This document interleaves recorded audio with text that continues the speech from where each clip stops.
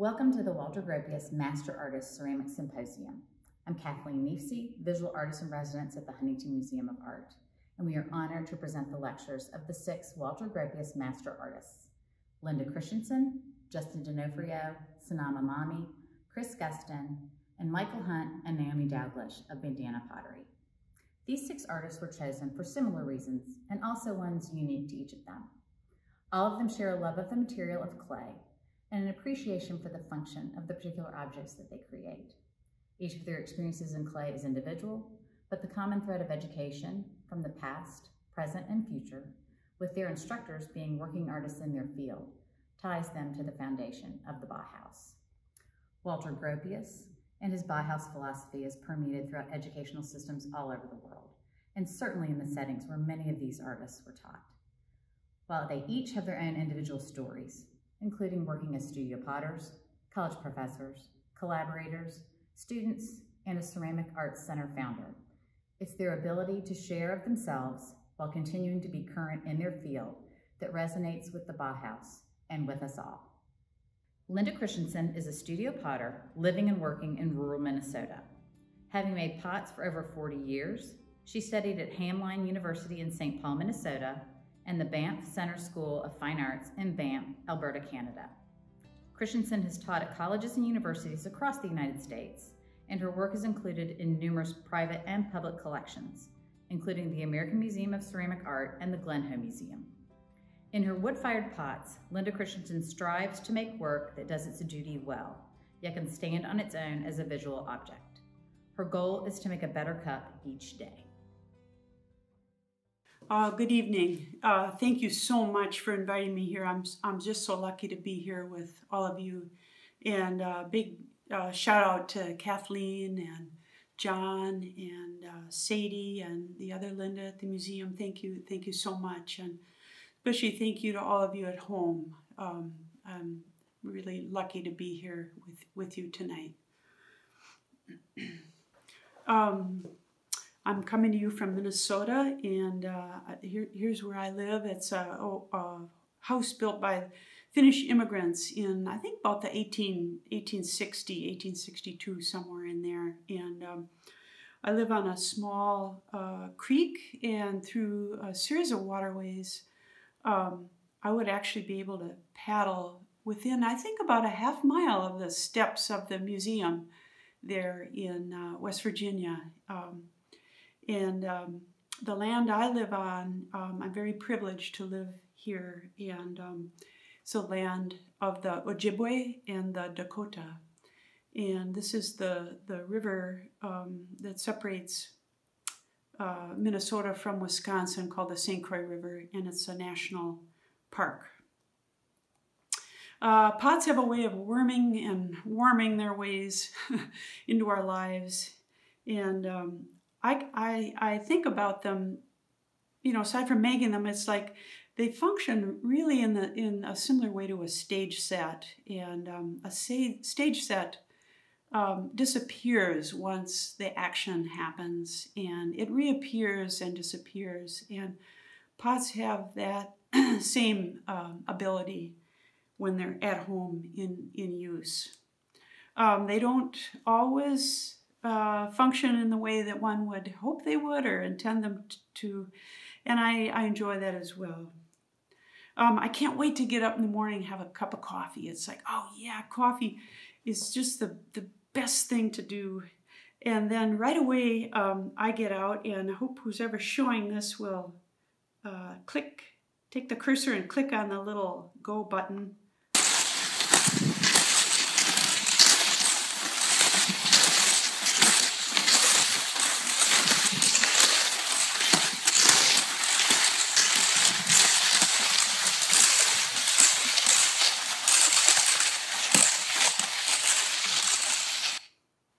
just can't wait to get out and ski uh, or bike or run or something like that if there's no snow. But I like to just get right into the studio then, and uh, my practice is, is right away I make four cups. And the cup seems like such a simple idea, but um, it's actually, I think, fairly hard to make something simple well. Um, so uh, that that's what I do every, every day right away. And I work in a little series, always uh, four, usually four of everything. Um, tea is not really the culture that I grew up with, but I, I still like to, to make a, a tea bowl. Uh, plates, I love to make a plate. Um, it's something to, to serve food on or something can rest on there but also it, it's, it's, it's really a, a canvas in a way, a three-dimensional canvas. Um, and I'm, these are the kind of surfaces that my, my mother would look at and think and say, why can't you make something pretty? and uh, she probably would be kind of pepped up by this. anyway, um, a little bit of glaze. Um, mostly those slip, just a finger through the slip uh, fired in the wood kiln. Um, and I'm using the atmosphere of the of the kiln more than wood ash. I'm not that interested in wood ash. Uh, some little patterns from uh, shells and wadding. Uh, lately, some black clay. I'm interested in that. Uh, some coffee. You know, back to the coffee. coffee pots. I think these are in the show exhibit here at the museum. Uh, baking, winter's really, again, winter my, is my favorite time of year. Um, and so I love to, to bake. So I, I always tend to make a lot of baking dishes. Uh, some are really large. This is wouldn't fit in my oven, but maybe a, a commercial oven. This kind of wheel I work on, um, this is my husband Jeff, and he actually made that wheel. He had a little business uh, making them. Uh, here's the studio I work in, and we've both my husband and I have been working on this for maybe 20, 25 years. I still yet to make any doors for the uh, kiln shed part on you know by the chimney there, and then I've got a little gallery area. Help yourself. You can just show up and get some pots if you want them um, in the middle there, and there's there's no doors there either uh, soup. I love love to make uh, soup, and basically my motivation is to make a form that I want to use with a surface that I want to use, and so I like I like kind of a V-shaped bowl for soup. Uh, little rice rice bowls, um, just more surfaces from the um, the kiln gives. I've always liked uh, pal like Palomino Pony, um, Appaloosa Horse, Golden Lab, you know, that those kind of surfaces. Uh, again, a little black black clay and Shino and, you know, I like that kind of irregular, rough clay. A basket, a basket has, uh, can, can do so many things. It can hold things, carry things um, in a, in a way, it's it's one of the forms I, I really love to, to, to make. I, I, I, again, I was that kid that just couldn't get it. You know, as a student, it was so hard for me to get any kind of skill. And handles I thought were really, really hard. And, and um, I just can't hardly wait to try to make a handle. Um, I'm not saying they're good or anything, but I just love the opportunity so much. A little pandemic uh, basket. I very rarely put any kind of graphics on my work, but I thought that the yellow cross was sort of appropriate. Um, kitchen bucket, I think of these for, you know, putting your kitchen trimmings in, um, that kind of thing. Maybe uh, pulling up some carrots from the garden, hosing them off, and, you know, putting them right on the table in, in this kind of a, a form. So I add that wire after the firing. Uh, little sushi plates or snack plates and um, these I got the idea, uh, I was waiting for my daughter. Uh, she was going to come on the, on the school bus and um, I thought, well, what can I make, you know, kind of quickly. So I make these little wire cut plates. So I think my mother would like this turquoise uh, glaze. Uh, she probably wouldn't like these too much, but that's okay. anyway, um, I try to put a, you know, maybe two or three of these sets um, in, a, in each firing. So I fire about four to six times a year. And, you know, I really think of them, you know, in a way they're like a little painting or a little triptych, a little diptych, that kind of thing. But they're three dimensional, and I'm failing right now to show you the, the backside, which is, is really almost more important than the, than the front. Um, here's how the pots are fired in this two, I have a two chambered kiln with a Bourry box, and it's fairly simple to fire. Um, and wood is, you know, kind of a constant thing. I'm always, you know, every day I do a little bit of work, maybe half an hour. And um, I like putting up wood and I like making wood piles. So, you know, that's sort of a, that works out well for me. Um, these are the people that I have around me when I fire. And um, I, I love being part of the wood fire community and, and we have family all over the world and I love that so much. But at my own kiln, I really keep it quiet. And it's my husband, Jeff, in the right, in the orange, and then Kirk and Jill, um, who have came to me about 24 years ago. And um, I just could never say goodbye. So we've been firing together for um, all these years, maybe 25 years now. So I want to talk a little bit about ideas and where they come from, you know, eating, using pots, food, you know, of course, those are the natural things that we know, know about, but other things happen in our lives, and I would call these sort of things like visual taunts or curiosities. And I'll just give you a couple examples of my taunts. Um, so somebody uh, gave me a zucchini, and, and I, I really didn't want it, and I threw it off the porch, and it broke. And then I thought, well, that's not very nice. So I, I I took a knife and I cut it, and the minute I cut it, I went, oh my God, it looks like that fire extinguisher. So I spent about, I don't know, maybe half an hour trying to get the right uh, length, and then I would place them on this bench, and I was trying to get the right distance between them. I mean, it's kind of like the Twin Towers. It's like, what was beautiful about the Twin Towers? Really, it was the space in, be, in between them uh, just some other towers in a way. it's like, oh my God, you know, the, the through use, you know, the, the, the revelation of that black underneath through time. And then comparing one to the other, you know, you line up a board of cups, you know, what are you looking at? You know, how do they compare? Oh my God, I just love these so much. I wish I'd made these. Um, there's a phone. I can't turn that off. um, my my daughter gave me this drawing for Christmas, and um, when she gave it to me, I thought, um, God, you know what? You know what were you thinking when you made this? And she said, Well, I, I just had come up with a, a new system of drawing.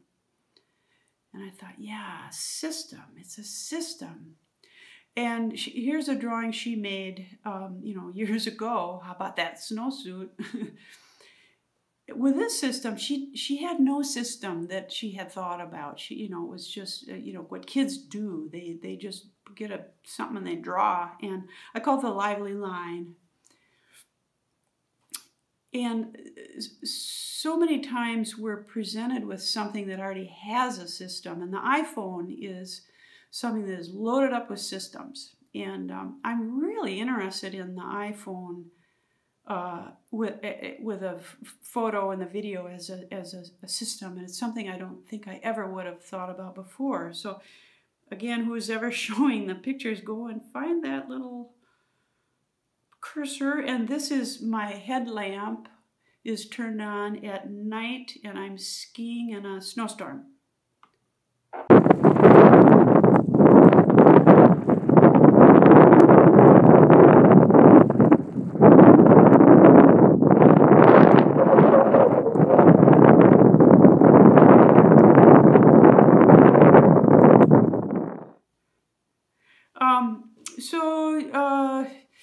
get the Sunday paper, and um, in the paper there would be the in the sports section there were these black and white photos and I, would look at the photo and it's like what is going on?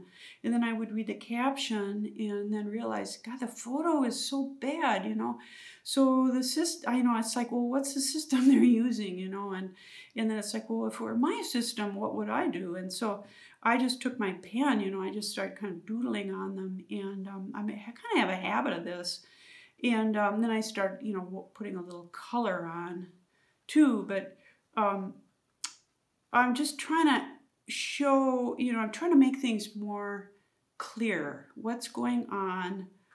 Where's the visual weight? Where should we be paying attention? What what do I what do I want to tell you with this with this photograph? And so you know th- those things, all those things sort of apply to to pots. You know, what's the system? What's going on?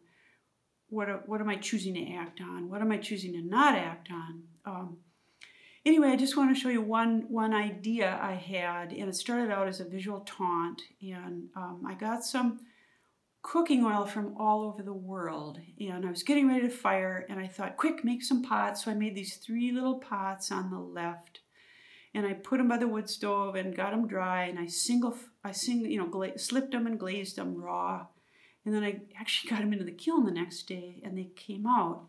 And my idea was, you know, just sample the oil, you know, olive, uh, not, well, I knew about olive oil, but macadamia oil, almond oil, you know, all those sort of oils that I didn't know a thing about.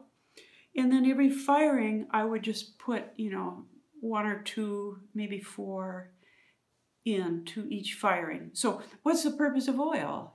And its main job is to gather dust. So, you know, if these things sit on your table, they're going to become, you know, dust collectors. So it's like, oh my God, I got to correct that. So um, I started making, uh, you know, covers, caps for them. You, you might want to consider vacuuming too.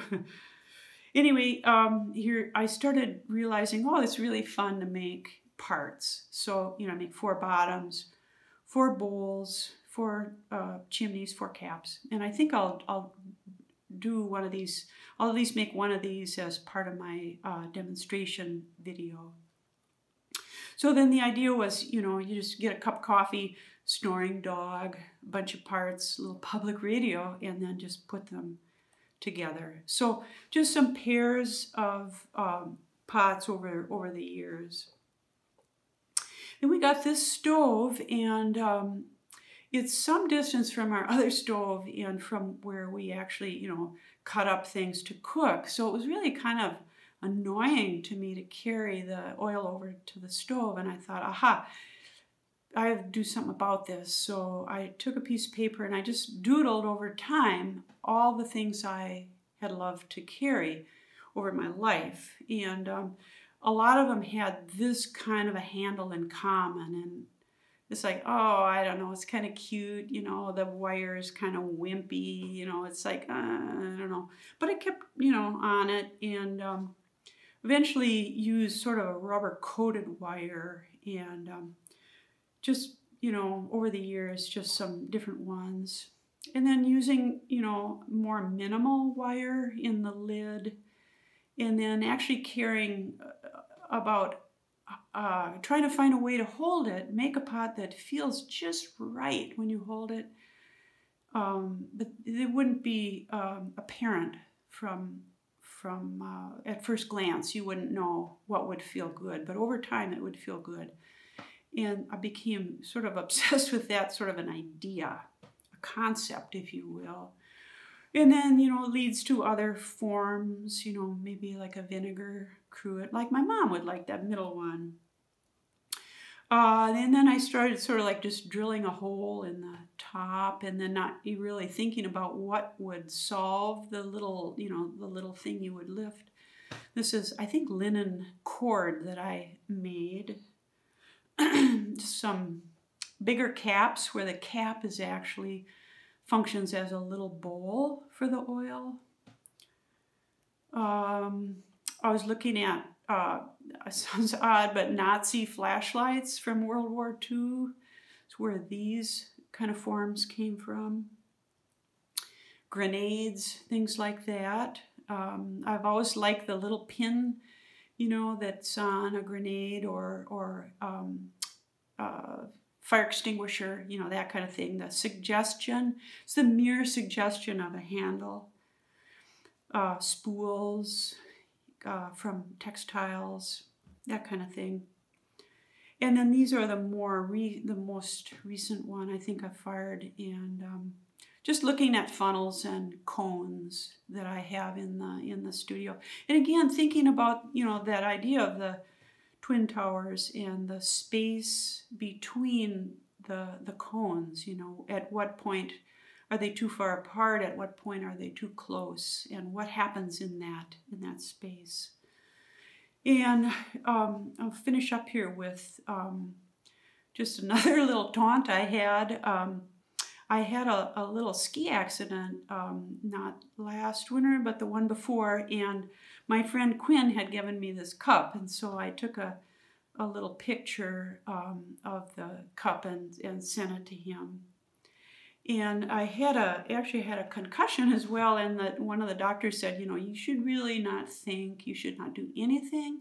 You should just kind of basically just sit down and be quiet and don't do anything, no screens, no TV, no radio, no books, no audio books even.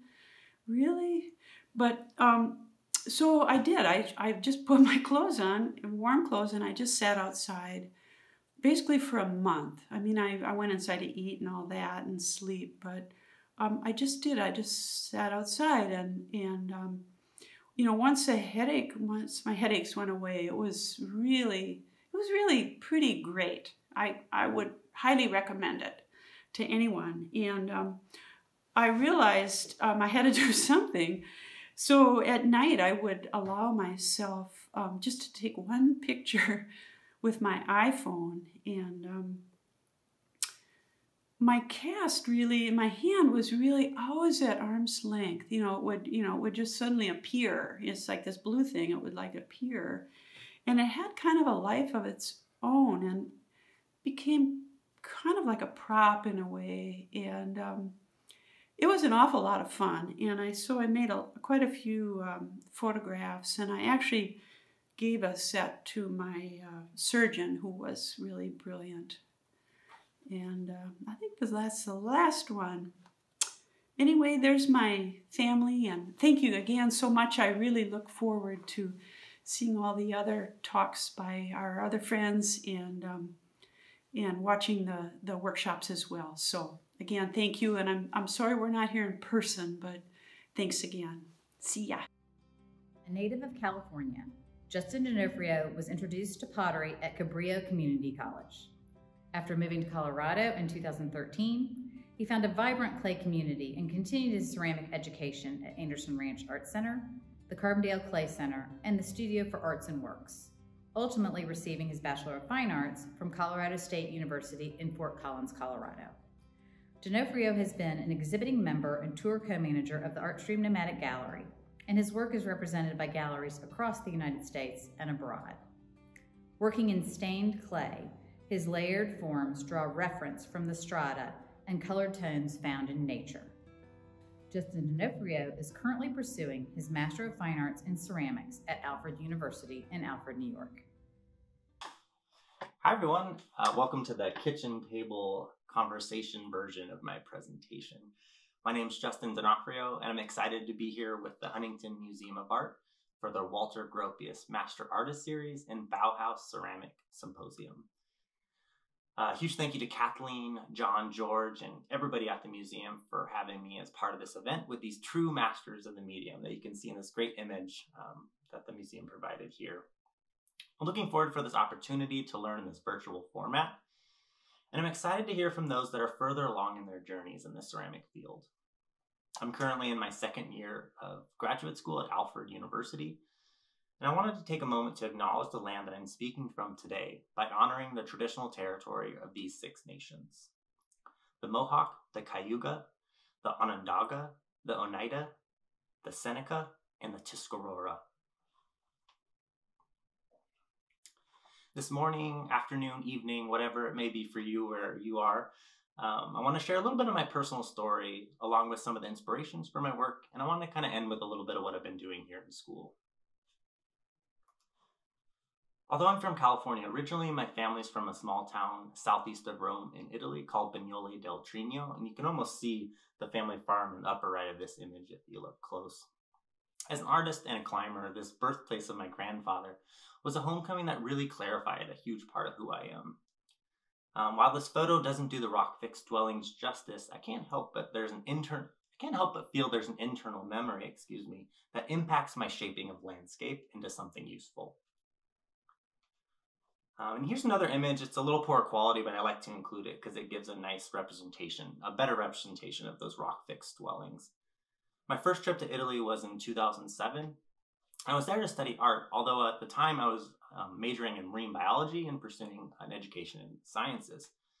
And this trip really ex- and experience solidified a deep respect for history and those that came before me. Um, I studied at the Istituto Italiano in Florence, Italy, and this time really altered the trajectory for me. I decided to stop pursuing that degree in marine biology and instead decided to pursue an ongoing education in the arts. There's a depth of tradition that I immediately connected to with functional ceramics. Perhaps it comes from this intense respect for tradition um, and rules and my Italian heritage.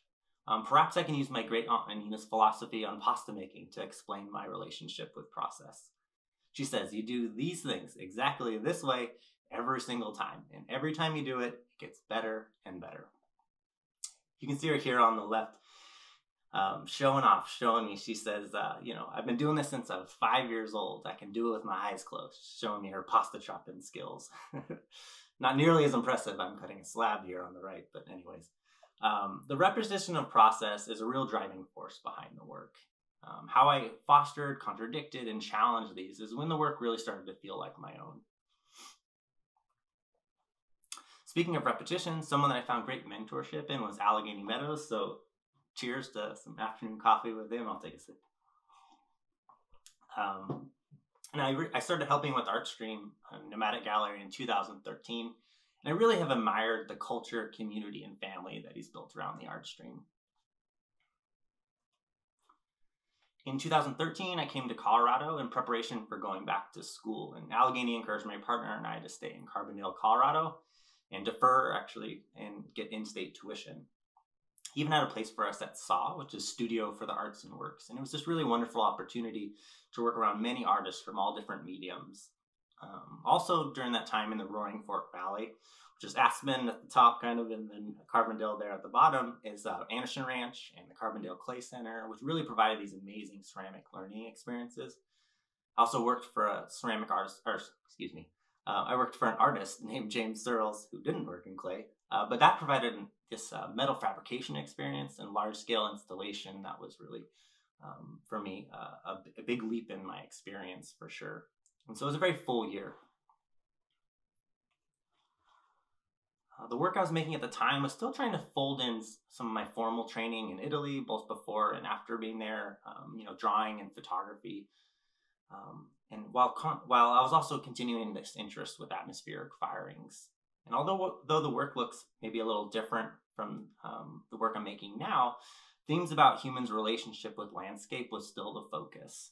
And with this series particularly being substantially less about the function of the pots. In 2014, I transferred to Colorado State University in Fort Collins, Colorado. And I had the privilege of working with Sanam Emami, who's here with us today, and Del Harrow. And so here's a couple pieces uh, from that time. And the program there is very well rounded, fusing digital technology with historical reverence and deep technical investigations of the materials. Also, at, while at CSU, um, through a desire to investigate volume and scale, was the beginning, excuse me, the beginning of an overall shift in the qualities in my work. I began to develop guidelines which brought the process forward through further investigation of how to unify surface and form. I began to consider color in a different way. Color became body and color became skin. And it really marks an important transition where process, form, and decoration started becoming indistinguishable from each other. So those previous small jars were the beginning of building work out of essential geometries, which, lead, which led to exploring more complexity. These ideas kind of build upon each other and expand in the studio through the combining of forms. to explore this language of the pot. I was also looking for the physicality of the process to register in the resulting color. So this led to other explorations and saturations and color explorations. The bridge between in the studio and out of the studio also became more clear. Specifically, my life and experience as a rock climber began to feed the work in, in very um, different ways. The terms tension, balance, and compression channel the mental and physical strain of climbing and build relationships with the qualities of the structures and forms. There's an immediacy of feedback in both climbing and clay, as information is sent from the fingertip to the brain. Excuse me. My focus has always been a pendulum that swings back and forth between spending time in the studio and spending time climbing. The Front Range in Colorado really lended itself easily to maintain the balance between the wilderness and the arts. And so setting down roots there in Fort Collins, Colorado is when the two really began to integrate. The work and the process reflect how I feel when climbing. The emotional and physical struggle are in search of capturing a moment.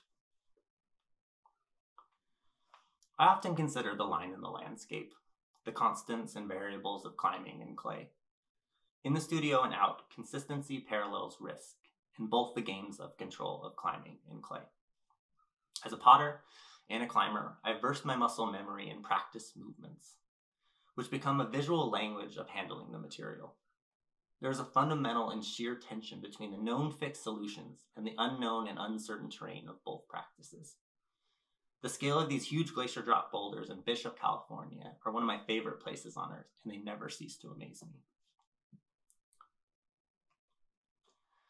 Not only does rock provide incredible form study, which dwarf me and my everyday concerns, but then there's color. These images were taken from some of my climbing travel in the Rocky Mountains, which is in the upper left here in Colorado, Rockland, South Africa, which is on the upper right there, Fontainebleau, France is on the lower left, and then Squamish, British Columbia on the lower right.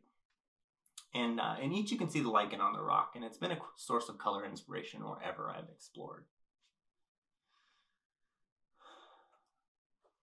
Not only is it everywhere you find rock in many places you don't, but it's also the oldest, oldest living organism on Earth. The bright green and orange lichen are especially important for lichenometry, which is a, which is a really awesome tool uh, for dating found objects like arrowheads and ancient tools. Lichens are also sensitive to environmental change, so as bioindicators, their their presence or absence can tell you the given, like the health of a given, um, uh, uh, excuse me, uh, health of a given environment. Um, and so the green lichen is especially important in lichenomics. You can actually reach back to 10,000 years old um, to date objects on rock faces or tools. And so it's amazing to think how long these vibrant species have been present. I also draw upon old pots and memories alike. Uh, my, mem- my family in California and in Italy often lends excuse me, ends dinner with a sweet liqueur, which is usually a homemade limoncello or a sweet wine, something like that. And in these pots, I see a clear integration of all of my influences. Um, however, I'm also curious about what's unclear in the work. One ambition of my process is to capture the ephemeral beauty of wet clay, embracing the cracks and smears frozen by the firing, which can project an immediate sense of the material at the moment of making. This piece is actually in uh, the Walter Gropius exhibition. Uh, here, I mean, it's there, not here. I would be there. Um, and then uh, a couple basket forms here. And then another piece that's also included in the exhibition there, which I'm really excited to see the virtual tour we're going to have soon. Um, so that was kind of leap forward. But after graduating from Colorado State University, my partner, Brooke Cashin, who also is a ceramicist and an amazing assistant here today helping me, um, moved out east to graduate school, and I had an opportunity to stay put in Fort Collins and um, take over a recently vacated ceramics studio space.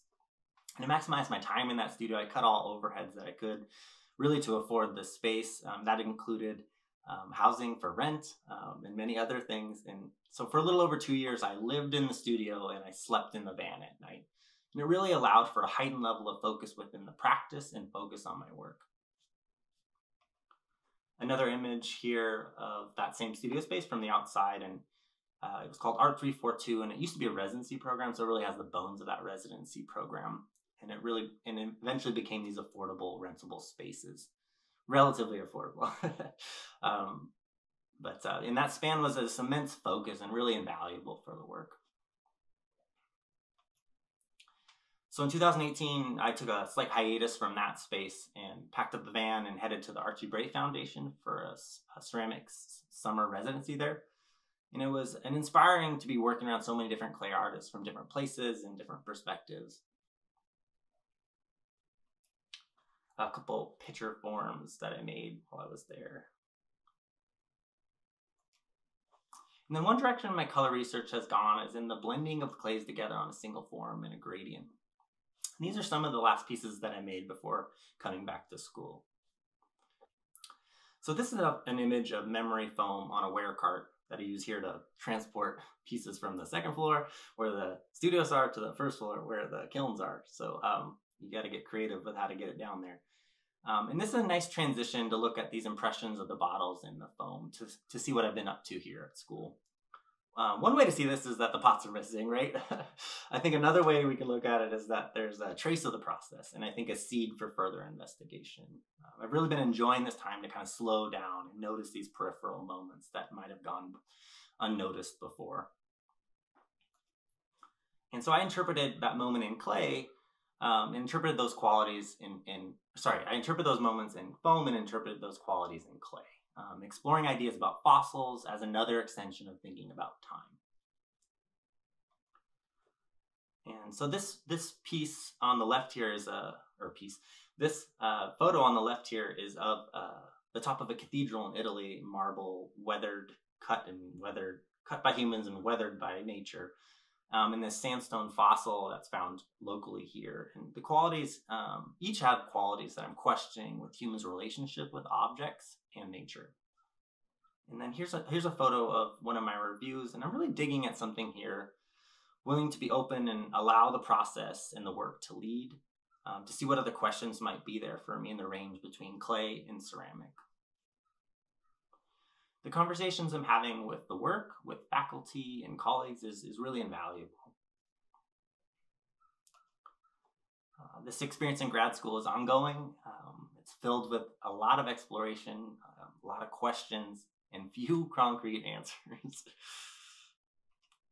However, I have begun to see connections across the work, and the relationships are folding on themselves and coming full circle, and new ones are being formed.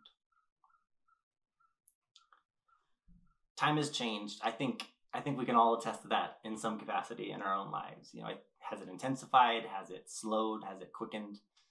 Um, the most recent series of work I made during quarantine with a small kiln here in the home and a refocusing within this domestic space. I'm really enjoying these cups and saucers, which are open to this interchangeability.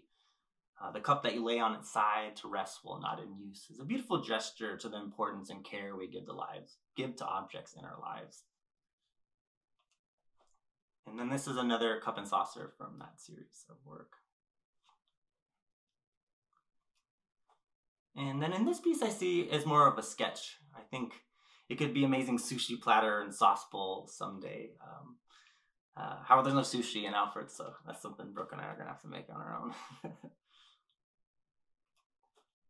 Most recently, I've been utilizing some local clays, and I'm really interested in the raw tonal qualities of the clay, how firing or not firing glaze versus no glaze um, are perceived in the objects how these often um, unconscious separations, subtle unconscious separations and associations are built into our ceramic histories. I strive to make pots which enrich an experience and endure beyond the moment of use. I'm thinking about how to bridge the two spaces between my more recent research based work and my functional pop, maybe like a line blend between those two. I'm toying with the physical space and thinking about how to forge more relationships between the objects, myself, and others. Thank you again so much for having me. Thank you to the Huntington Museum of Art. Um, thank you to all the other artists. Um, I'm excited to see everything else with the presentations, with the virtual tour, and um, you know, it's been a pleasure to be here. I wish we could be there in person, but um, but I think we're all going to learn a lot from this virtual experience. Thanks so much. Sanam Emami received a Bachelor of Fine Arts in History from James Madison University in Harrisonburg, Virginia, and a Master of Fine Arts in Ceramics from Alfred University in Alfred, New York. Emami was a resident artist at the Archie Bray Foundation in Helena, Montana, and has lectured at numerous universities across the United States, including Harvard University and the Kansas City Art Institute. She's a studio potter and an associate professor of pottery at Colorado State University in Fort Collins, Colorado. Drawing from patterns and forms found in history, Emami's functional pots are filled with references to her family and her travels, revealed on her surfaces through stenciled imagery and vibrant colors. Hi everyone, my name is Sanam Emami. Welcome to my studio. This has been a really new experience for me, so I am uh, finding myself uh, humbled and challenged by this process, but I'm learning a lot, and I think that's part of uh, just being uh, being engaged and present in the world, and especially uh, artists. That's a familiar place to be for all of us. Um, I think one thing I often think about is that when I'm too comfortable with what I'm doing, that's a good time to start asking questions or introducing uh, new propositions into the um, into the studio practice.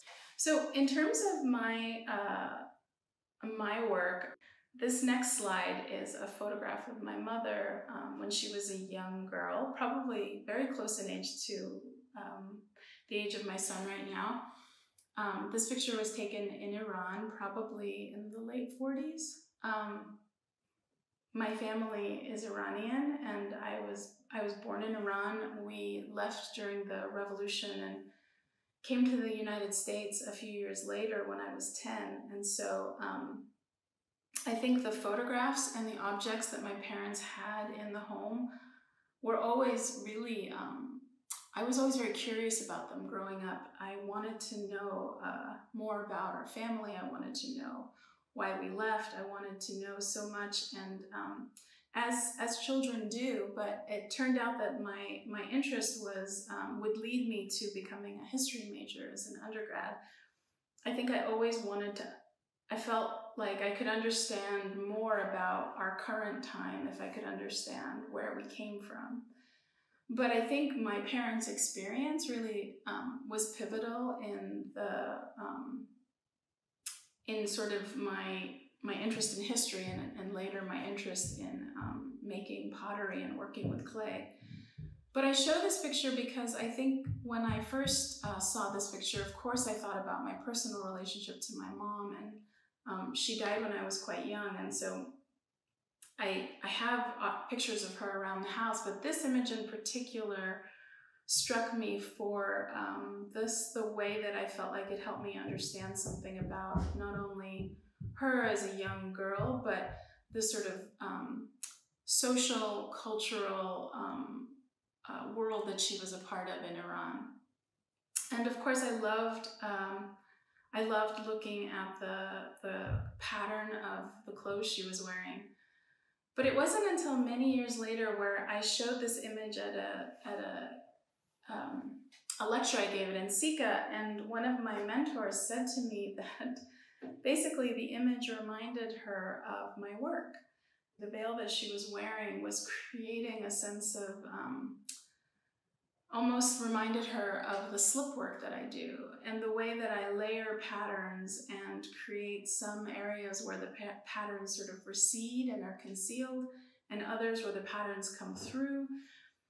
And I I realized that, you know, the photograph hasn't changed, but like our relationship with so many things, with people, with books, with uh, our favorite pots or paintings, as we change, our relationship to those things changes. And now this picture has become for me both personal, but also a real sort of way of understanding that um, pattern is complex. Um, pattern is a way that we can make sense of complicated um, emotional experiences, social experiences, cultural experiences. and that patterns can tell a story. Um, so this first image of my work that I'm showing is uh, was made in 2002. I think this piece for me captures a lot of the things I think about in the studio and that I hope for in my work. And I think that I'm really interested in, you know, at the core, I think I I'm really interested in making things out of clay that are intended to be used. But within that, I, I sort of oscillate between uh, tableware and work that is uh, often categorized as a centerpiece or um, work that is intended for display. Um, and so I'm, I think my practice moves back and forth between um, tulip vases, uh, garniture sets, tiles, periodically larger pieces for exhibitions, and then back to tableware. And, and through that sort of moving back and forth, I think I'm able to explore the ideas that I'm really interested in pattern, history, the Silk Road, um, questions of craft and skill, and really um, the relationship of function uh, to the object that it that I'm working on at any particular moment. Um, this piece, I think, really highlights for me that relationship between ornament, pattern, form, and structure.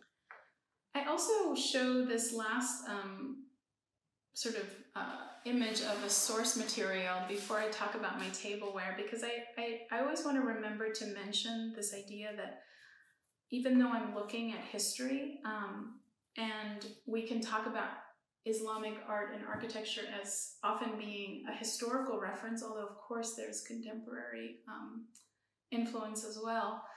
Um, I think that I always really want to talk about the sort of way that I don't look at these older pieces as old. I know that this, this bowl was made in the 12th century in Kashan. I know that, you know, many centuries have passed, but I look at this piece and I actually see how contemporary it is. I see the um, Islamic and Iranian potters as being radical and um, really the beginning of, of how we understood abstraction. I mean, these artists were abstracting the world around them and making sense of the world around them through pattern. And I think that's a really powerful idea. I think sometimes when people ask me, well, why do you make tableware? And what is it with pattern? And I think of um, the way that tableware grounds my practice. It gives me a place to start, um, but offers me endless possibility. And I would say the same about pattern. I feel like pattern allows me to interpret the world around me. It's a universal language. It's a way for me to share my ideas with um, a really wide audience. And I think the um, these you know beautiful uh, historical pots, I think they show us the complexity of the language of pattern. What I love about this plate is that um, you know you see these different bands of pattern, and so you have the pattern on the lip, and then you have the Kufic script or the calligraphy where language is almost abstracted. Then you have these almost floral patterns, and then you have a sort of foliage pattern in the middle. And I just think this language of pattern is fascinating. I think the way that we organize the world and interpret the world through pattern is is um, is really ripe with possibility. And I, I, I don't think that as a modern or historical um, premise. I think that's something that humans have done, you know, um, over thousands of years. Um, often people ask me about my color palette. This next image shows um, just a detail that I took when I was on my trip in Iran. And this is a in Shiraz. And I, you know, I just took a detail of this wall where you can see, you know, maybe one, two, three, four, five patterns kind of compressed together and really bold, bright colors. And I don't think I use the work directly. You don't see the direct influence, I think, in my work, but I'm always thinking about colors, these bright, bold colors, and the way that um, the way they all interact together, and also kind of this idea that multiple patterns could coexist in one piece, I think is something that I've also been exploring uh, with the tableware. So I'll just end with some examples of tableware and uh, the shift in my work to this brighter color palette. Um, and again, this idea of trying to make families or groups of uh, pieces that aren't identical, but are uh, similar. So you'll see that in the process videos as well. I'm making a series of dinner plates that could all live together, but they're all different. Um, so this first uh, plate, this is a dinner plate with this, um, again, a, a, way that I've been thinking about pattern right now where the shapes repeat, but they sort of have, um, they don't repeat in the exact same way. Um, this next slide shows two plates side by side, and I think I'll talk this. I, I do talk about this in the process videos. I talk about I have two different clay bodies that I work with. Uh, one is a buff clay and I use a black slip over it with a matte glaze. And then the other is a dark colored clay that I put a white slip and a shiny glaze. But the pattern and the stencils here are, are the same. And I really love this relationship that the matte and the shiny go together. Um, the patterns, you know, are the same, but the glaze really transforms them. Um, this next slide is an image I took of a dinner set that I was commissioned to make, a 12 person dinner set.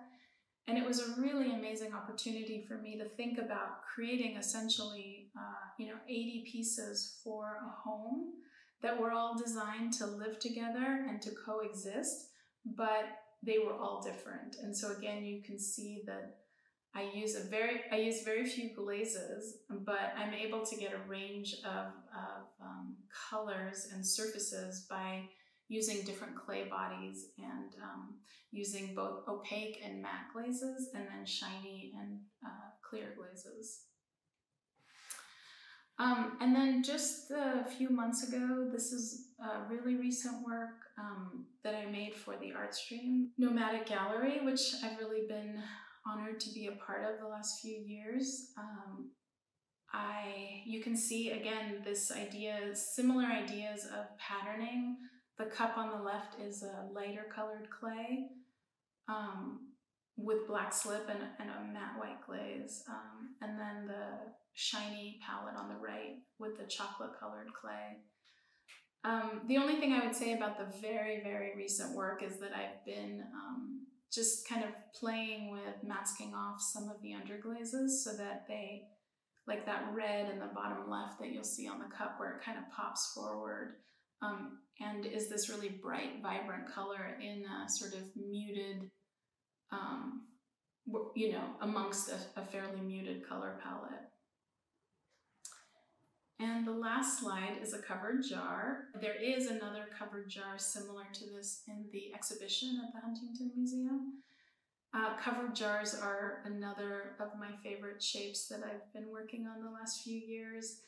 And um, again, a way for me to explore these new ideas of color and pattern within, within this volume. So that's the end of my slide talk. Thank you very much. Chris Gustin is a studio potter and emeritus professor at the University of Massachusetts in Dartmouth. He received his BFA from the Kansas City Art Institute and his MFA from Alfred University in Alfred, New York. Gustin's work is in numerous private and public collections, including the Renwick Gallery at the National Museum of American Art, the Los Angeles County Museum of Art, and the Victoria and Albert Museum in London. He has received two National Endowment for the Arts Artist Fellowships and he is the co-founder of the Watershed Center for the Ceramic Arts in Newcastle, Maine. Gustin's work explores the vessel form while increasing scale, changing the reference of the forms to be more closely related to the human body. His glazed and wood-fired surfaces become like a skin on these voluminous forms, accentuating every curve and dimple. Hello all. Um, Thank you for being here today. It's a great honor to be part of the Huntington Museum of Art's Walter Gropius Symposium. And uh, today I am going to talk about uh, my work over the last, say, 15, 20 years and, and life influences that have affected my thinking and, and how my work has kind of moved over that period of time. Uh, in 1995, I was invited to go to the island of the uh, of Fayal in the Azores and uh, to be part of this big symposium to make work and make art, and then for five or six five weeks, I guess it was, and then travel have the work travel around Europe in exhibitions. And uh, when I got there, uh, they told me that that they had no clay and I wouldn't be able to work in clay. And uh, this was, you know, this is one of those moments in your career where it's it's like, oh my God, what am I going to do? Because um, this was 1995. There was no internet was very weak at that point, and it's not like you could buy art materials on the island. So um, I had to struggle with the concept of making pots without ceramics, okay, without clay. And what I did was, um, uh, these are volcanic islands. So, I, so at the end of the island, um, there was this volcano, and I went out and I spent a day just kind of pondering what the possibilities are that I could do. And I realized that I was actually sitting in it. Um, the volcano is this big cauldron, and it was actually a big pot. And so I, I the answer was sitting under my feet. It was um, lava, basalt. And so what I did is I went to the quarries and uh, got a bunch of big stones and had them delivered to the studio spaces. And then for the next month, I started carving lava pots. And this is one of those moments where you change your thinking in relationship to, to kind of what your understanding of your processes are. Um, up until that point, I'd been making pots, dealing with a single wall um, vessel. Um, you know, my whole career has been based on that up until that point. Um, you know, throwing and hand building and and uh, combining wheel thrown and hand built forms, but all with this idea of this volume being contained by the skin around it. And uh, uh, by making double walled um, or by, by making carved forms that were reductive in nature, it just changed how I how I thought. And and so I made these these these big lava pots and out of that came a, a, new way of thinking of how I might approach the work I'm making in my studio. So I come back to the United States and I immediately building start building double wall pots. And what was what I really enjoyed about this was I could think about the inside completely different than I thought about the outside, yet still maintain the vessel as kind of the structure and content that holds it all together. So for I don't know a year or two, I just started two, three years, I guess, I was building these kind of smaller forms, um, kind of tabletop, um, but got really interested in how to play with that interior volume being contained by all these kind of loby forms. Um, but the pots start, started to talk to me in a different way. They kept kind of asking to get larger. They kept kind of saying, well, you know, we need to be bigger than you're making us. And um, uh, again, these are the moments where you start to challenge technique and your skill set and all these things, and you just have to kind of open that door and be willing to go through it. So I went back into the studio um, in about 1988, 1998, 1999, and just started. I was going to start to think I was going to really knock this up in scale, and began to make these big pieces. And um, these are all four or five feet tall, maybe three to four feet in diameter. So they take up a lot of physical space. And I got really into it, and I'd build them the interior at the same time as the exterior, and kind of combine them all at the end. And uh, out of that came a whole new way of thinking for me. Um, these are some of the pieces that came out of that series. It was about a three to four year series of work. Um, and I was really excited by where this was all going. It was it was like a door that had opened that I wanted to walk through and just explore. Uh, at about this time, 2001, I got a phone call from my younger brother David, and uh, David told me that he had just been diagnosed with multiple sclerosis (MS), and that um, things weren't great. And so I flew out to California and which was the beginning of a number of trips I took over the years um, uh, to, to see him and to see how he's doing and to talk with him. And um, David was diagnosed at uh, age 48, and the disease progressed through him very quickly. Um, and in these conversations we had, we talked about um, how does one let go of the things you love and still have grace and peace in doing it. And they were kind of profound in many ways because it was playing out in real life um, with with both of us. And I would come back home and I'd, I'd, you know, I'd start thinking about my life and how can I let go of certain things and how can I hold on to the things that are precious and let go of the things that are kind of extraneous to what I want to do. And I brought that into the studio as well, and I started thinking of my own work, and and so everything was very with the construction forms that were very convoluted and very complex in structure and building, and I decided that I'd just begin to erase that again, just let go of it and get it back down to kind of an essential core self. And out of that body, uh, out of that thinking came a big body of work. Um, the scale, um, again, the, the constructive pots were kind of large and big, and so I stayed on that scale, but I just softened everything so that the sense of the hand against the pot and the sense of hand on skin was um, was really um, in the work.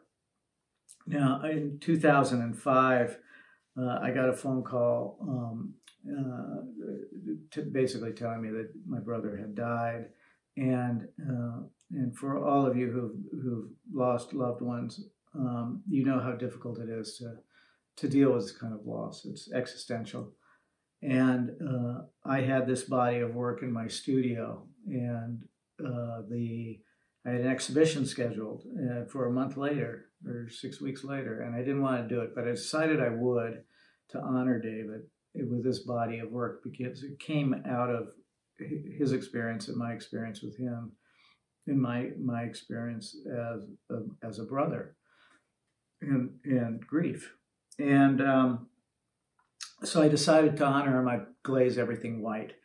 So so I put together the show, and the entire exhibition was shades of white and and and very muted surfaces, and just let the form be what it is, and really reduce the activity to just gesture, light and gesture. And out of that came a new, whole new way of thinking about making work, but also about thinking of how my work might um, uh, expand its its its thinking if I introduce it into the wood wood kiln process, the wood firing process. Um, I was interested in kind of the surface and how over such a long, uh, large piece of real estate, if you will, the sidewall of a piece, you can really get some things to happen on a scale that you can't do like on a teapot or in a, you know, it's a more intimate scale. So, so this brought back kind of memory to me and me- memories of childhood and and things that I loved as a kid. And one of the things that that has always stuck with me for years and years and years is an early memory of uh, my earliest memory of, of dust motes in sunlight in my bedroom and the wonder I felt of discovering that there's this whole kind of invisible world that's in my room that I don't even see. But if the sun comes in just right, all of a sudden it's exposed to me. And I think about that a lot when I think about glaze. I think about how glaze can be this emotive surface on a form, and you see it in one sensibility from a distance. But if you really get close, it can open the door to a whole new world that's kind of the interior, in the interior of the glass, if you will. So, so that's what I think about, and that's how I approach glazing, and that's how I approach surface, and it's how I approach wood firing. You know, so I spent years developing glazes that would run and pool and and, and create this kind of this glass flow that was much like liquid, you know, very low viscosity, and how that, that flow would move over uh, the, the little bumps and divots and little extenuations that I do on the form um, to reveal the topography underneath it. And that exploration led to a whole body of work that came out of the um, you know 2008 to 2015 16 um, with making vessels so i'd take these big pots and i'd glaze them and then um, you know i'd run tests in kilns and see something i like and i'd put it put them on the pots and then uh, I'd fire them and I'd have to stand back and go, okay, how can I make this better? Or is this is pretty good? Or, uh, you know, how can I fire the kiln better with more control? And so over a number of years, I would um, fill these the, the kiln with these big pieces and with a lot of other work from other people and friends and and figure out how to fire wood kilns, how to fire an anagama And I got my kiln pretty dialed in and I was interested in that. I was interested in, you know, getting things that worked. So these are series from from the mid 20, you know, 2012 to 2015, somewhere in there. And you know all large scale they're all like you know five feet tall in that scale human scale.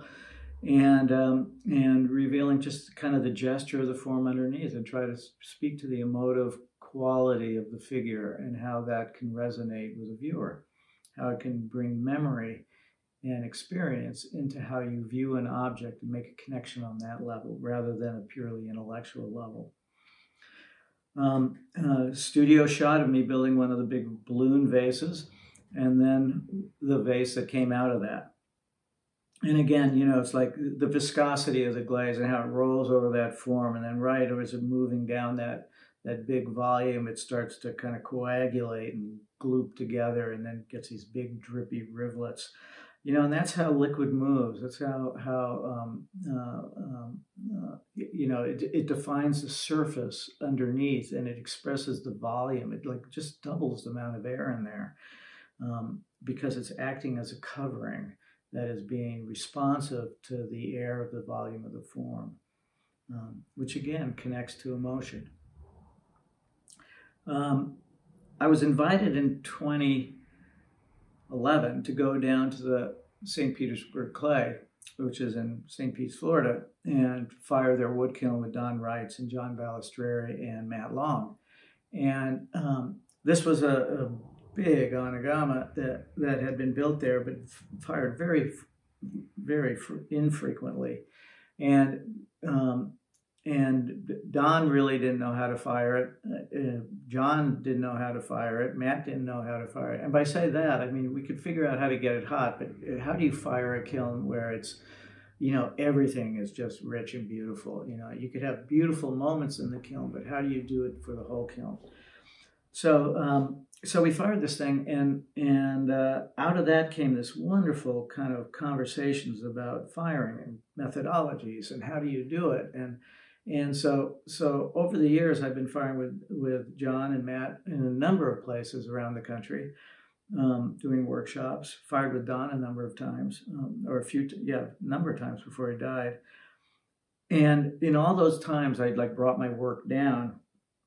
Um, I discovered that uh, you know the glazes I use at home are they come out completely differently than the glazes I use in other places. So this is an example of, of a, a glaze in my studio on the right, and then uh, the Morian on the left, and and um, it's the same glaze, just fired in different kilns. So I decided that I would kind of seek out other kilns around the country and see if I could come out and fire and do workshops and that type of thing. And so I went out to uh, Mounds Anagama, Dan Anderson's place in Illinois to fire, and and Randy Johnson and Jan McCahey's in Wisconsin.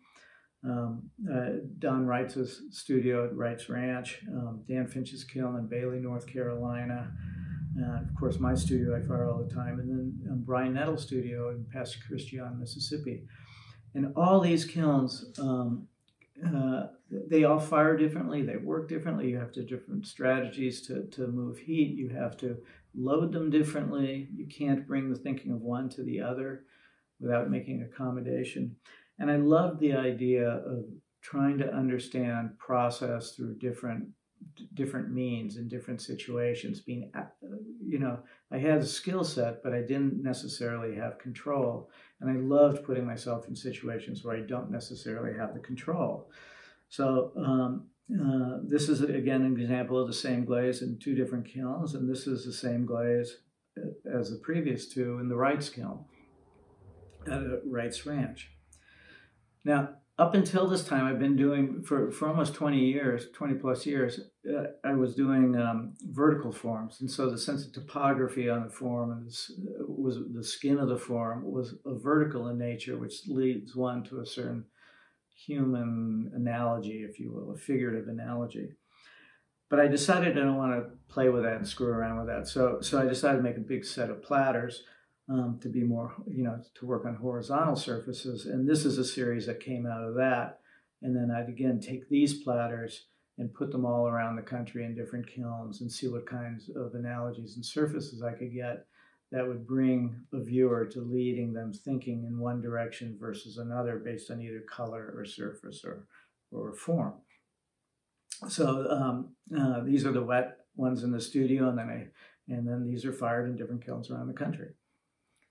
So I was I was interested in this. I was interested in how um, you know the idea of landscape can begin to figure into my thinking. You know, um, uh, natural landscape. You know, um, and and as glaze moves uh, across something, you know, the the the, the flow of it become, starts to become like water moving over rocks, and um, uh, so so you know, and in this piece, it's it's almost like a, a landscape covered in snow, and what that feels like. And then this is just kind of turbulent, kind of the the, the, the result of liquid moving around rocks and boulders and swirling back, back eddying on itself. Um, these they all do different things, and I'm really interested in how one is, is very different than the other.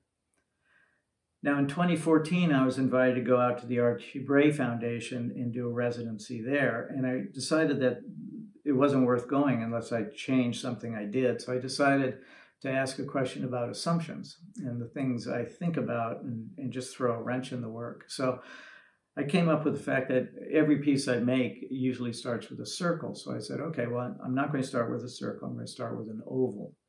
And out of that one decision, just the next five years of work came. You know, just just stretch that oval out. Just you know, stretch that circle out into an oval, and what happens? And it's huge. What happens? It changes the dynamic of form completely.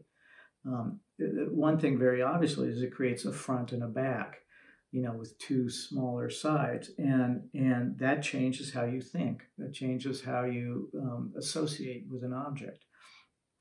So I made four of these. Um, three of them blew up in the kiln. I was able to get one of them home, and uh, and started thinking about you know what's next? Where do i move from this? And the question that came out of this body for me was that i was trying to make make um, these all vessels. I was trying to put necks on them. I was trying to create an interior space that had access. And these pots these pieces I, I keep calling them pots these pieces just kept saying no no no no no. We don't want that. We just want to be form and I finally just had to listen to that. And out of that decision to just kind of go with that shift, which was a huge one for me because I've made pots my entire career, um, just magic kind of happened in the studio.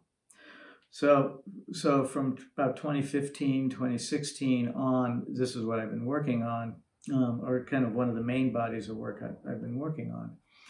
Um, you know, and I had to figure out how to build again. So I had to go back to beginner's mind. And I, I love creating problems where you have to kind of question the solutions that you do, that you come up with. So you don't, you can't do them all the time. You have to come up with something new.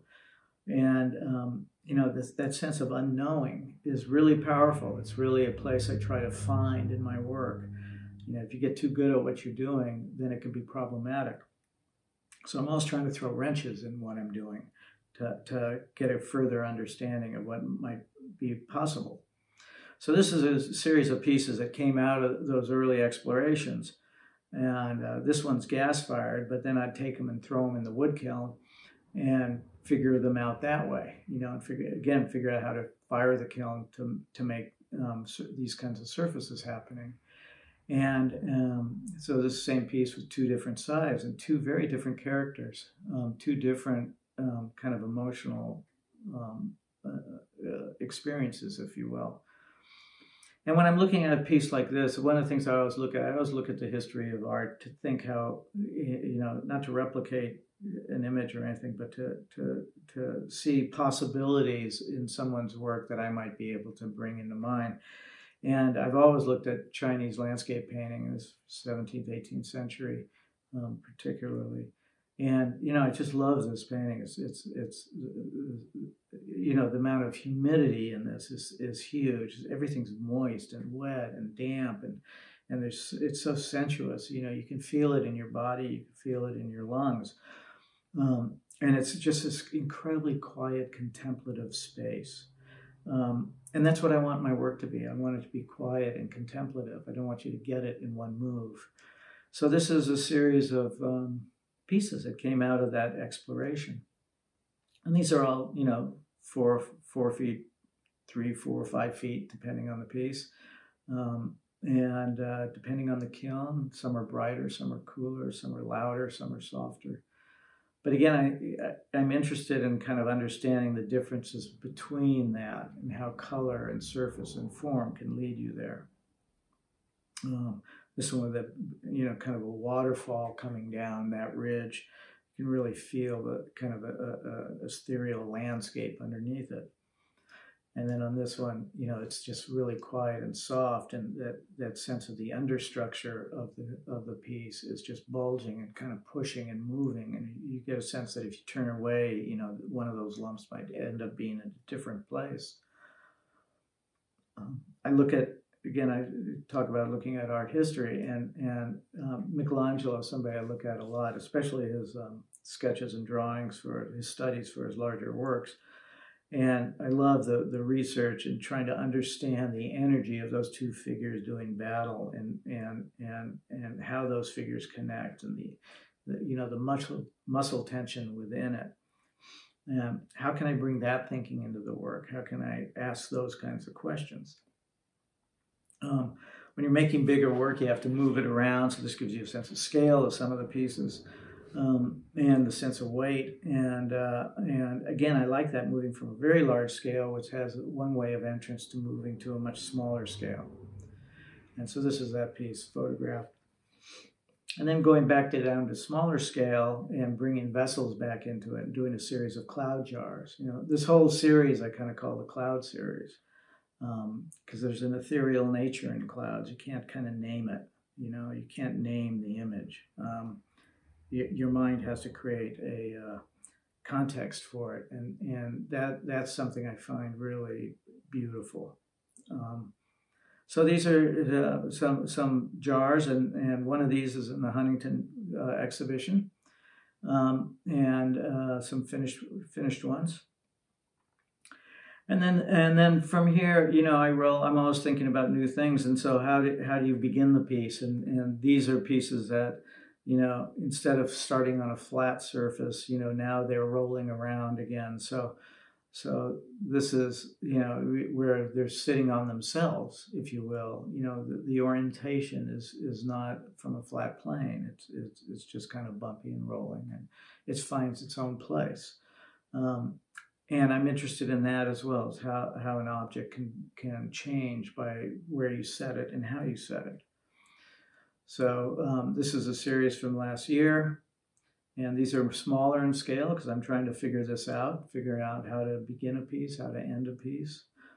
Um, and again, by using different color and firing methods and different kilns, I'm finding um, that the analogies shift between piece to piece, even though the forms might be similar in some ways. Um, but by using color and surface, the, the, how you how you enter a form through memory is different. And then these last pieces are um, I made this past spring during the COVID, um, uh, you know, when we were all kind of shut down for a few months. And these are starting to get um, a little bigger, and that's where this work is going. The, the, next series will probably be two or three times the scale, and then I'll have to kind of figure out the struggle in that. So that's where I am in my work, and and um, I always end the, uh, a slide talk by talking about this group of young people. Um, uh, these have been my assistants over the last 20 years, and I couldn't really have done any of the work I do in my studio without their help. They've been instrumental in everything, and I always want to honor that. Um, they've given me um, usually two to three years of their life um, uh, working with me, and I'm incredibly appreciative of that. And then lastly, I'd like to just acknowledge my wife, Nancy Train Smith, who's a, a, fascinating and a great artist. And um, uh, one who, um, you know, she and I have had 30 plus years of conversations about art, and they all end up in my studio. That, that dialogue that we have is so important to me. And um, I want to acknowledge it because I, I think that um, you know, finding somebody that you can really talk to about your work is really important and um, who can be straight with you. So, um, and believe me, Nancy, she's really straight with me. so, um, so anyway, uh, that's where I am, uh, and uh, I just want to once again thank everybody. Thank you for being here. Thank you for participating in the Gropius uh, Symposium, and thank you, Huntington Museum of Art. Forming the collaboration known as Bandana Pottery, Michael Hunt and Naomi Dalglish live and work in the mountains of western North Carolina. Gathering and processing local clays from their area, their wood fired pots reveal the raw nature of the material through the layers of slip and glaze. Michael Hunt was first introduced to clay in high school, then went on to Penland School of Crafts, where Will Ruggles and Douglas Rankin became his teachers and mentors. Hunt continued his studies in Korea, where he learned the traditional method of making large onggi storage jars. Naomi Dalglish began making pottery as a child with her grandmother. She went on to study clay at Earlham College in Richmond, Indiana. Dalglish came to Penland for a kiln building class and met Hunt, who was building a kiln at his own studio in the area. They now work together, each participating in all aspects of the process as Bandana Pottery. As artists, and more specifically potters, what moves us to make what we do and what brings life to that work? Thinking about this question made me think back to some of the original choices we made about our work. Michael and I began using wild local materials as a means to find the kind of coarse beauty that we love in old Korean pots. We were drawn to functional pots because it's satisfying to make something beautiful that can be used. We chose to live in the mountains of western North Carolina because of the community we found surrounding Penland School and because of the abundance of interesting local materials for our pots and scrap wood from the local sawmills for our kiln.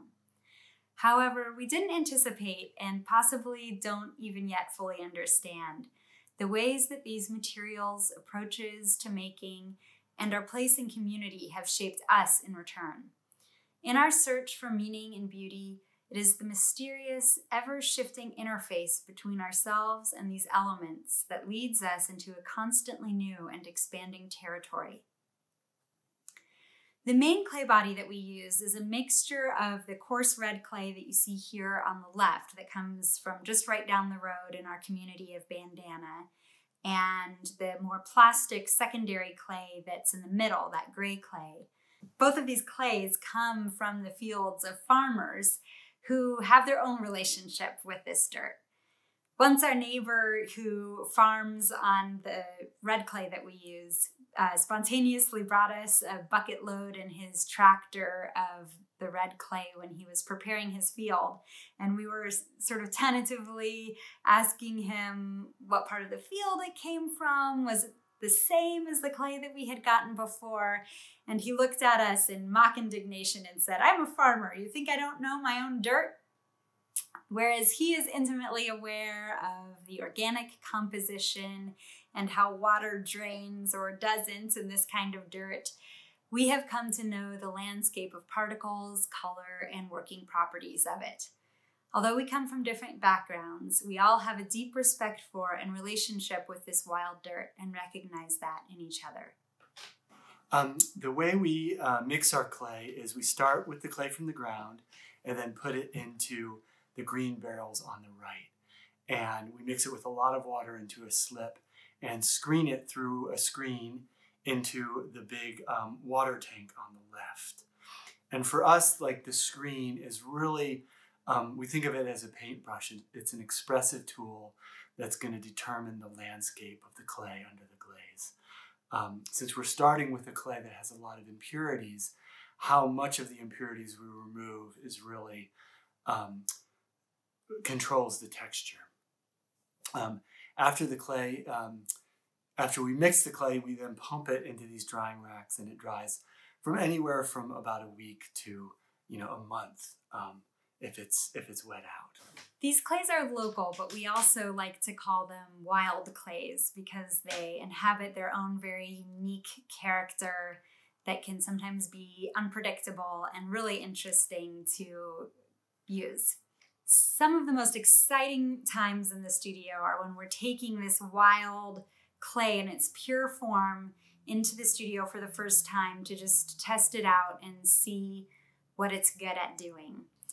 Um, it might not be plastic enough to throw a picture, but reveals the most beautiful texture when you carve a foot. Or maybe there are so many fine particles in the clay that it records your fingerprint. Rather than feeling limiting, these qualities invite us to explore the nature of the clay. Our bandana red clay feels like an old friend. The varied particles of sand and rock lend themselves well to a layered landscape under slip and glaze, and we are fascinated by the texture that is revealed when we cut a foot or carve into the clay. Our slow turning Korean style kick wheels are tools that we feel help us have a more direct connection with the clay. On these low momentum wheels, it's a little harder to impose an idea. You have to use softer clay and a softer touch um, a quality that we hope is still uh, can still be felt in the finished pots. Um, in addition to throwing, we do a lot of hand building in our studio. Um, these pots are all made by carving out of a solid lump of clay, um, which is a new technique that we've started doing, well, the last number of years. And it's really fun. The reductive process allows us to really explore a lot of different shapes. Um, these triangle bowls were made in that same way by taking a triangular block of clay and just kind of scooping out the shape of a pot. And then after it dries, then we um, cut the foot on it. Um, these are slabs that will be molded over bisque molds. And one of the things that is so fun about these is that um, we get to decorate them while they're flat. Um, you don't get to do that in pottery very much, but um, we decorate them first and then put them over a mold, which you know really is a fun way to um, really be free and expressive with the slip because you don't have to deal with um, with gravity. And um, we like to work in big runs when we can, and um, like we make a big run of plates and then decorate them all at once. And we think that this you know creates an environment where we can respond in the moment to what is happening. And maybe we realize that the slip is making a cool splatter when we move it in a certain way. And that the series of plates can kind of become exploring that movement. Once we have um, all the pots made for a firing, we have to race to get them dry so we can glaze them and fire them in the wood kiln. And so we put around 600 pots in the firing and fire the kiln about three times a year. Um, we also have a smaller kiln we can fire in between these longer cycles. Um, now that our kids are a little bit older, they can just load the kiln for us while we sit back and have a cocktail. Um, here's our, uh, our previous apprentice, Jason Hartso, firing the kiln. Um, our current apprentice is uh, Miki Palchik, and it's been a great program to have, um, you know, be able to have apprentices that um, help us in the studio, and then I, we hope learn a lot in the process. Firing in a wood kiln certainly relates to this notion of interacting with wildness. We delight in the search to understand the path of the flame, the vagaries of falling ash and fluctuating atmosphere in the kiln, yet this does not diminish the mysterious power of the process. Although results can be unexpected and sometimes initially disappointing, there's a sense that there's always something new to discover in the complex interplay between clay, slip, and glazes and these firing dynamics. Um, because we have a large kiln that has a lot of um, different zones, um, there's different te uh, temperature zones, different atmospheric zones, and so we use a lot of different glazes to um, benefit from that variety. Um, yeah, a lot of different ash glazes. Many of our glazes are based on local materials. Um, this glaze is a glaze, it's made from a feldspathic stone that we gather in the town of Kona, which is about, um, it's the next town down from um, Bandana.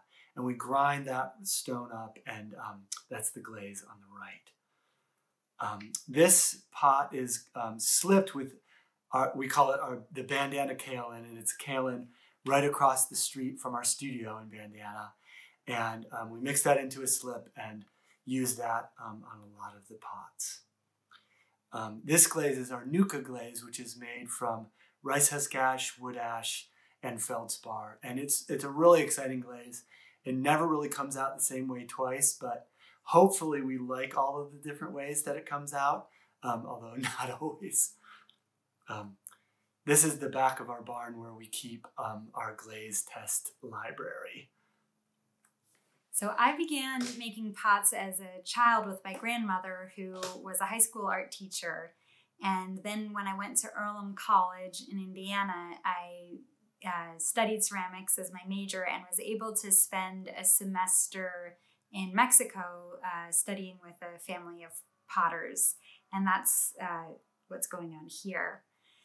They also fired in a wood kiln, but to uh, a low temperature, basically bisque temperature, and then actually passed the, along the pots that they made to other potters that would decorate them and glaze them, and sometimes even just paint them for decorative ware with like acrylic or oil paints. While I was in Mexico, I was also lucky to be able to visit a lot of amazing museums where I saw um, the pre Columbian figurative sculptures that are so prevalent and well known there. And they really inspired the figurative sculpture work that I do.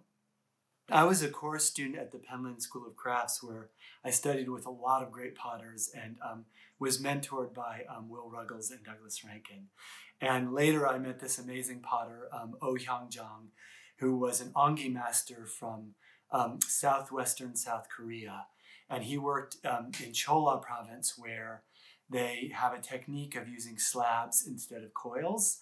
And it's really great way to make big pots very quickly and um, that have an amazing um, paddle texture. Um, and this is a technique that goes back thousands of years in Korea of making large fermentation jars. And um, one of the things that I really was inspired by by the onggi pots is the spontaneity of the patterns. The pots are quickly glazed in a glaze of red clay and ash, and then a, a pattern. What before the glaze dries, the, uh, pattern is made by finger wiping.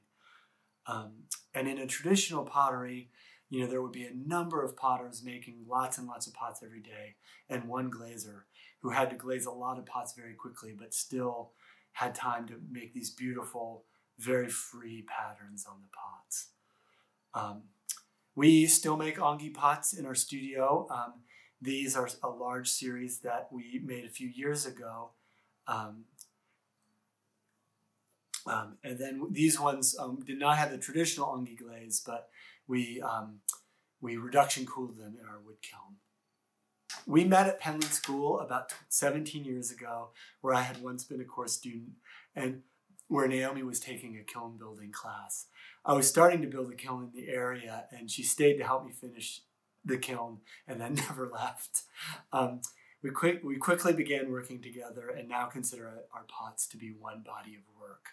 Um, and a lot of people ask us um, how we collaborate on the pots.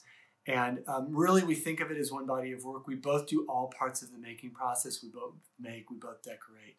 But we each have, we, we, we share ideas, we kind of steal ideas from each other. Um, this is an example the pot on the left I made and decorated, and the pot on the right Naomi made and decorated.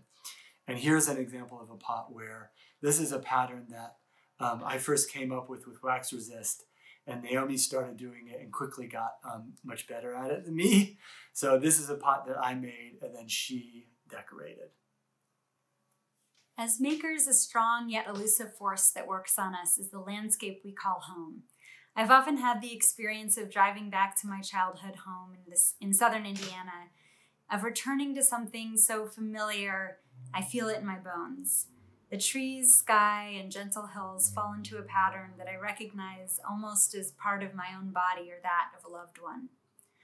On a recent trip, uh, my family went fossil hunting in the creek near my parents' home, and Michael pointed out that the crinoids we found there were surprisingly similar to the carved vases I had recently been making.